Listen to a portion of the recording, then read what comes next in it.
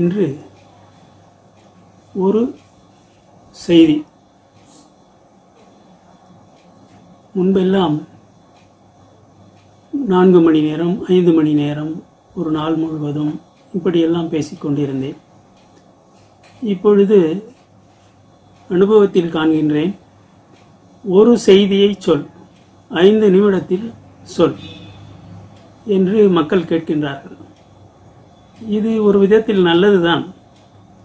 ஆனால் இவ்வாறு சேமித்த காலத்தை சக்தியை நீங்கள் எதற்காக செலவிடுகின்றீர்கள்?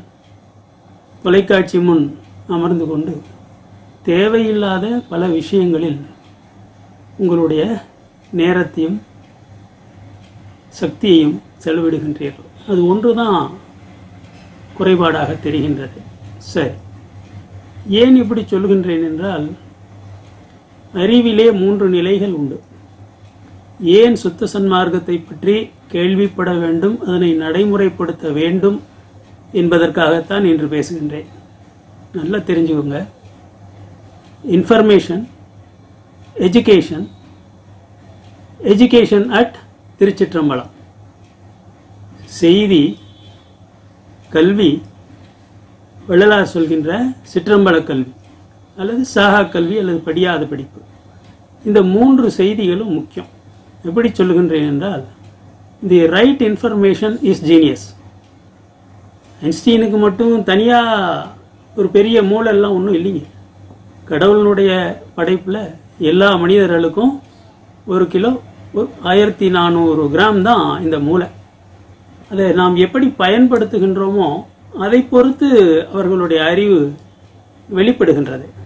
ஆக த ரைட் இன்ஃபர்மேஷன் சரியான செய்தி. சரி இதை எப்படி தெரிந்து கொள்வது? பாருங்கள். என்னுடைய அனுபவத்திலே சொல்கின்றேன். நான் சிறுவயதிலேயே ஆங்கிலம் கற்றவன். அப்படி அமைந்தது. ஆங்கிலம் நான் கற்றதனால் உலகத்தில் இருக்கின்ற எல்லா துறைகளில் இருக்கின்ற முக்கியமான செய்திகளை எல்லாம் என்னால் தெரிந்து கொள்ள முடிந்தது. ஆங்கிலம் உலகத்திற்கே ஒரு ஜன்னல். என்னுடைய ஆசிரியர்கள் பலர் ஆங்கிலத்தையே மறுத்தார்கள் வெறுத்தார்கள். அவர்களுடைய கொள்கை அவர்கள் வரைக்கும் சரிதான். தமிழை மட்டும் படிப்பாங்க. அது சரிதான் நான் இல்லைன்னு சொல்லலை. ஆனால் காலத்துக்கு ஏற்றவாறு நம்மை நாம் தகவமைத்துக் கொள்ள வேண்டும். காலமறிதல் என்று திருவள்ளுவர் சாமி ஒரு அதிகாரமே சொல்லியிருப்பார். காலமறிதல் இடமறிதல் வழி அறிதல் இந்த மாதிரி ஒரு ஏழு அறிதல்களை சொல்லுகின்றார். அதெல்லாம் என்னுடைய திருக்குறள். பெரிய புத்தகத்தில் உரையில் விளக்கம் சொல்லியிருக்கேன். இப்போ வேண்டியதில்லை. மீண்டும். ஆக இந்த காலத்திற்கு என்ன தேவை?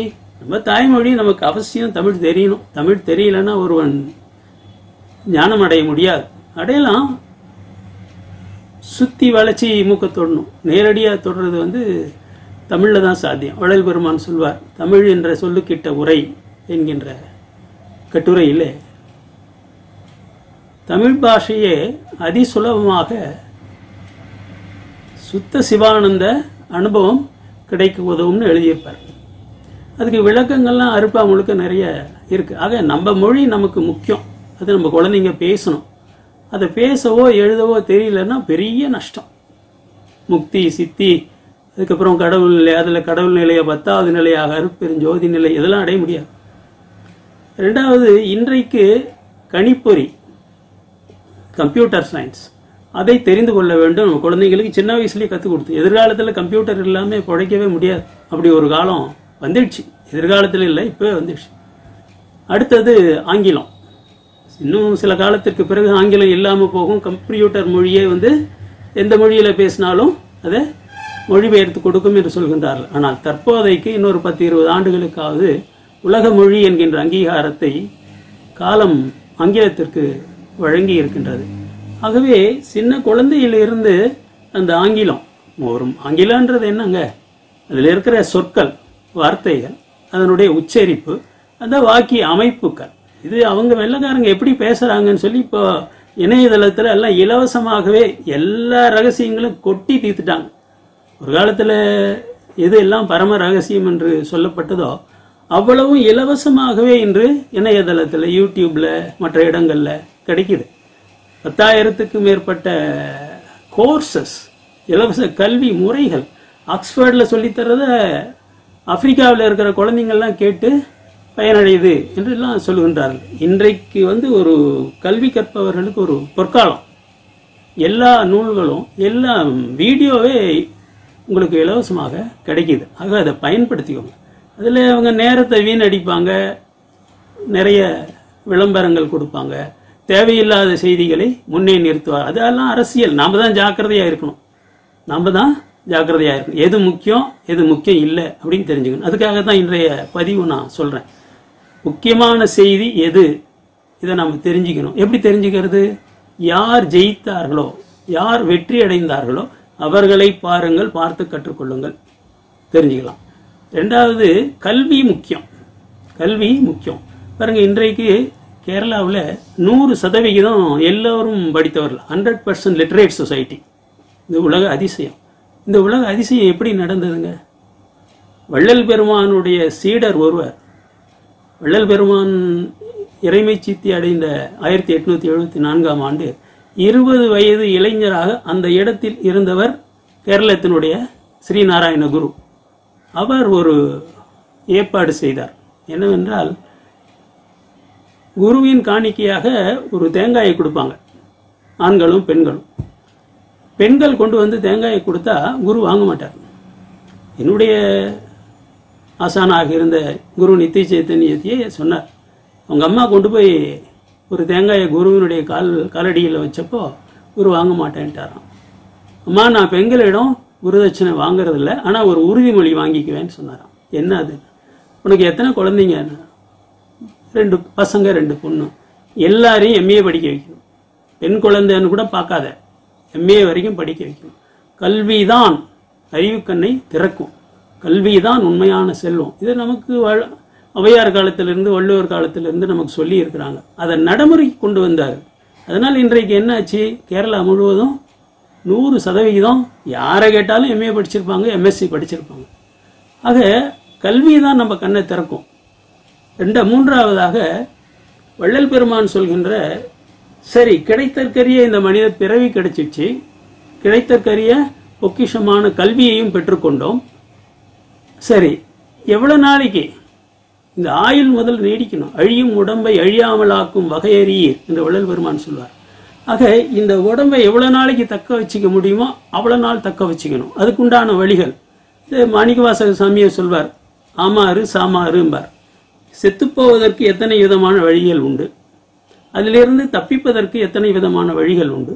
இதுதான் தமிழ் சித்தர்கள்.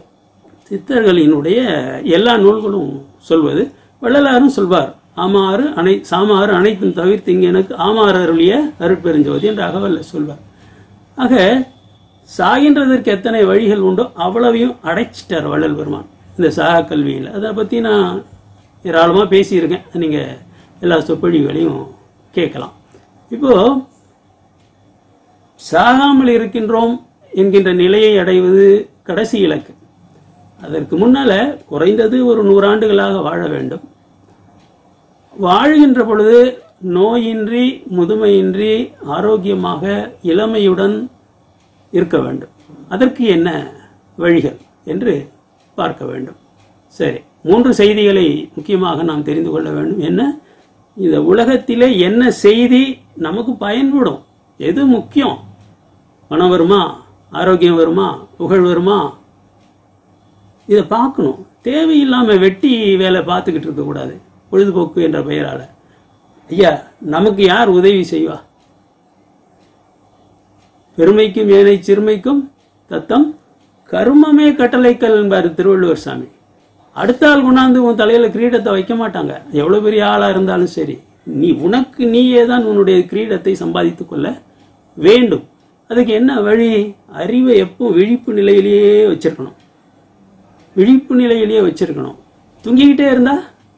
இப்போ விழிச்சிட்டு இருக்கிறதா நினைச்சிட்டு இருக்கிறோம். இப்பவும் தூங்கிக்கிட்டு தான் இருக்கிறோம். நம்முடைய அறிவு விழிப்பு நிலைக்கு வரல. அறிவு விழிப்பு நிலைக்கு எப்போ வருங்க? காஃபி டீ குடிச்சா கொஞ்சம் வரும். குடிங்க. அதனால என்ன? அதனால் என்ன? வள்ளலார் சொல்லியிருக்காரா? வள்ளலார் காலத்தில் காஃபி டீ இன்னும் இந்தியாவுக்கு வரல. காஃபி டீ குடிக்கின்ற பொழுது கொஞ்சம் அறிவிலே தெளிவு வருது இல்லைங்களா? ம்? நெடுநீர் மறவி மடி துயில் இந்நான்கும் கெடுநீரார் காமக்கலன்னு சொல்லியிருக்கார் திருவள்ளுவர் சாமி. ஆக அறிவிலே தெளிவு வேண்டும். அந்த தெளிவுக்கு பேர் தான் ஞானம். இந்த தெளிவு எந்த அளவுக்கு அதிகமாகின்றதோ அந்த அளவுக்கு ஜீனியஸ் அந்த அளவுக்கு வாழ்க்கையிலே நமக்கு வெற்றி வரும். ஆனால் அளவு வேண்டும். நிறைய காஃபி டீ குடிச்சிங்கனாலும் நரம்பு தளர்ச்சி ஏற்பட்டுரும். அளவாக ஒரு கப்பு ரெண்டு கப்பு சம்பளம் இருக்கும்போது குடிக்கலாம். சரி. இப்போ பிரச்சனைக்கு வரேன். ஒரு செய்தியை தெரிந்து கொண்டோம். சரியான செய்தியை தேர்ந்தெடுத்து தெரிந்து கொள்ள வேண்டும். அடுத்தது கல்வி. முறையான கல்வி. எல்லா குழந்தைங்களுக்கும் எம்ஏ வரைக்கும் கல்வியை போட்டணும் மூன்றாவது கணிப்பொறி கல்வியை கொடுக்கணும். நான்காவதாக வள்ளல் பெருமானுடைய அரிய அரிய அரிய அரிய பொக்கிஷமான சகா கல்வியை பற்றி தெரிந்து கொள்ள. ஏன்னா இதில் எல்லாமே முடிஞ்சிருக்கு. இங்கே வந்தீங்கன்னா எல்லா செய்திகளையும் வள்ளல் பெருமான் அப்படியே ஞான பொக்கிஷம் அப்படியே கொடுத்துட்டார். நான் தெரிஞ்சுக்கிட்டது அப்படிதான். நீங்கள் எப்படி நம்புறீங்களே எனக்கு தெரியாது.